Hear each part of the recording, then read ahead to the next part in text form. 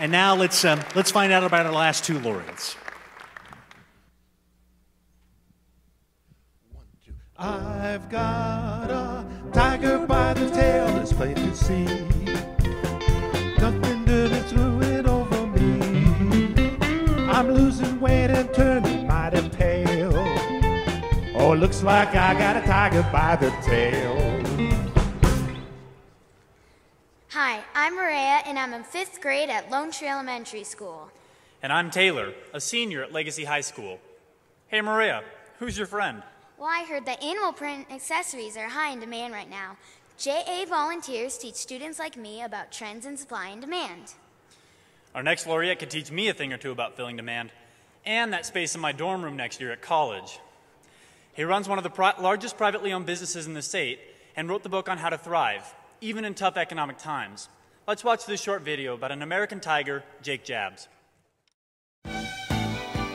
Hi, I'm Jake Jabs. Hi, I'm Jake Jabs. There'll only be one Jake Jabs. He's just really a maverick in the industry. Is my mic on? Through his folksy television commercials with exotic furry friends, Jake Jabs has put himself and his business into the living rooms of just about every home in the region, growing American Furniture Warehouse into one of the largest furniture businesses in the entire country. One of nine children, Jacob Jabs grew up in rural Montana. He went to Montana State University and received a degree in vocational agriculture in 1952. He worked his way through college playing music.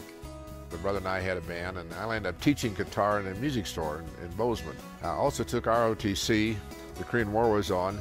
Got a commission in the Air Force. I won the Air Force as a second lieutenant. After serving, Jake returned to Montana and bought a half interest in a music store in Bozeman.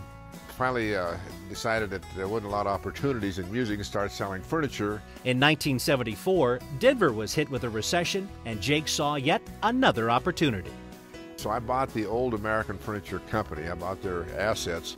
Uh, it was on their books for a million and a half dollars, and I paid them 80000 cash. Jake renamed the business American Furniture Warehouse. Jake has uh, built quite an empire. This is a dynasty. It's, it's an incredible operation, one that both manufacturers and retailers from all over the world would come to visit and, and shop and see. Try to do it right the first time. If you do it right the first time, then people recommend you. This philosophy, paired with an undeniably unique advertising strategy, made American Furniture Warehouse the talk of the town and turned Jake into a local celebrity. Everybody knows Jake. It's Jake or John Elway um, are the two most famous people in Colorado. So it's become a, a symbol with us. I don't own the animals. You don't want to own them. With the enormous success of the business, Jake is able to help hundreds of charities. And like everything else Jake does, he goes big.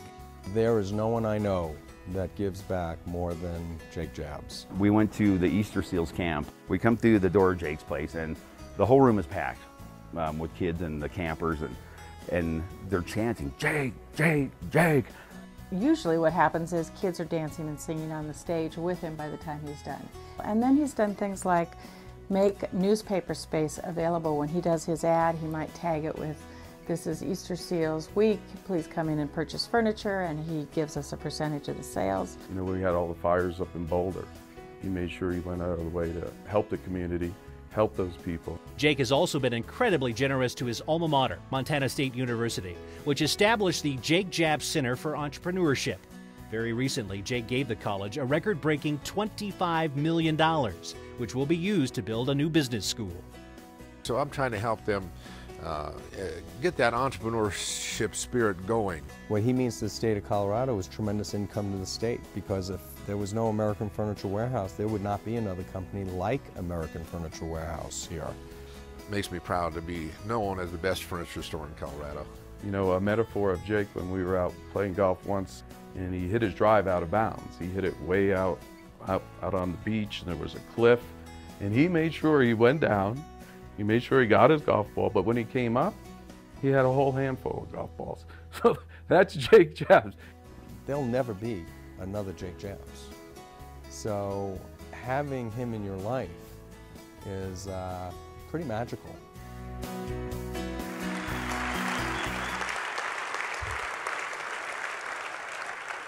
Please help me welcome to the stage, Jake Jabs.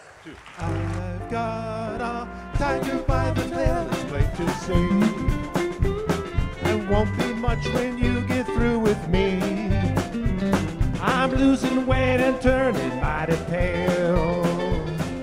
Looks like I got a tiger by the tail. Where's my guitar? Thank you so much. It's, uh, I didn't realize this was this big a deal. It's very nice to be here. Great group. Wow. Uh, I'm from a Lodge Grass, Montana, small town in Montana. Uh, how small is it? I was born November 23rd, and I won the first Baby of the Year contest.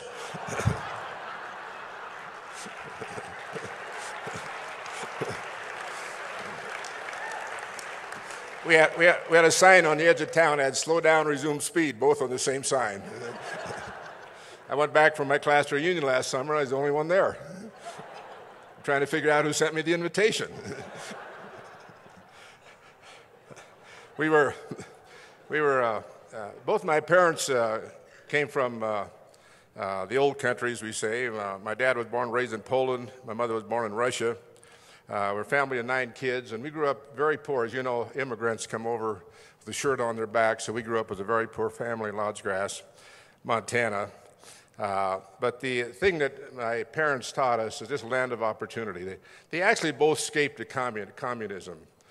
Uh, my dad actually fought in the uh, Russian army at the time that Lenin and the communists took over Russia, and he was an eyewitness to what happened uh, when the communists took over. And what happened, nobody would work, and he says up to 30 million people starved to death, and he was an eyewitness to that.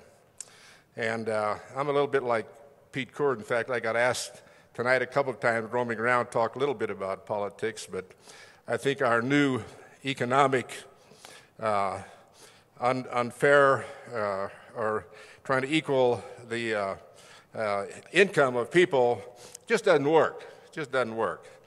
Uh, and I think I'm a living proof of that because, uh, you know, my parents came over with, with basic and nothing, and I made a successful furniture store. On my mother's side of the family, she was born in Russia, and all of her family actually starved to death under Stalin. So uh, it's just proof that the free enterprise system is really, it's the only system that really works. Uh, and my parents taught us the love of America. Uh, uh, it's a land of opportunity. Uh, you can go out and make something fun. You can, you can actually keep, keep what you earn. Not bad, you know. Under the communist system, you couldn't do that. Uh, so it's been a nice journey from Lodge Grass, Montana to American Furniture Warehouse. Uh, we actually did well during this last recession. Believe it or not, we made money all the time during the last recession. I get asked all the time about IKEA. Not to worry, guys. Thank you. Yeah, we can kick IKEA's butt, you know not rocket science, you know. It's just doing a better job and selling a product at a better price. So, but it's nice to have competition. The competition makes you better operator. It makes you buy better, makes you work harder, and competition is good. And uh, so we have no problem with competition. Uh, I want to thank uh, particularly my families here tonight. Uh, I want to thank you for putting up with me with the long hours that you have. You know, in business, you work long hours. I still work I don't know how many hours am I working? 60 hours, 70 hours? I don't know. I don't, I don't count my hours, but uh, I enjoy what I'm doing, and I think as long as you what do, enjoy what you're doing, you should just keep on working. So that's what I intend to do. Uh, particularly want to thank my employees. I wouldn't be here if it wouldn't be for you guys. So let's give them a nice hand. Thank you. Thank you. Good employees is what, what make a business. So, anyway, thank you guys very much for, for uh, making this uh, what it is. I want to thank the uh, Denver Chamber and the Junior Achievement for inviting. We're, we're having a Junior Achievement uh, uh, building built inside of our Thornton warehouse where we're going to have all the kids come and, and see it, so we invite you to come and see that. So anyway, it's very humble for me to be here, and thank you very much. Thank you.